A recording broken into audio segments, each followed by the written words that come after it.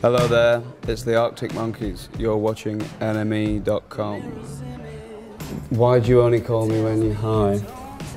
The Arctic Monkeys' new single. It's probably the most self-explanatory song I've ever written.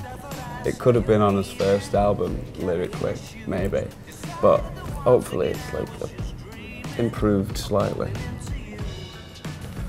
But yeah, I think the talking points on that tune are uh, reside more in the production.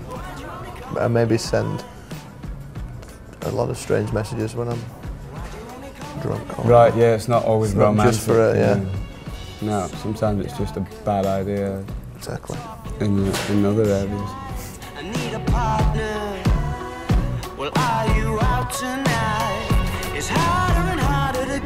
I've that many days where we hadn't had something to do in LA. Yeah, it's like mostly It's still a working. when we were yeah we Environment. were in the studio. Yeah, so it was kind of get up, I'd have a coffee maybe.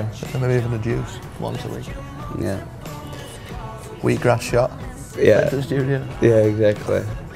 Yoga in the studio. Oh, Bikram. Yeah, that hot one. Bikram yoga in the studio. Another, um, Put back in what you just lost. Yeah.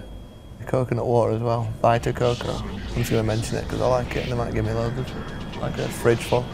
You mentioned it on someone else the other Yeah, day as I did. well. I know what you're up to. Yeah. I can see you, you wonder where am I? I don't think we have any worries about you know people staying with us as, Yeah. as we sort of They're all invited. evolve. Yeah, it's like it's not a. I don't. I, I don't think anyone really expects us to continue or return to some approach we had like seven years ago or whatever.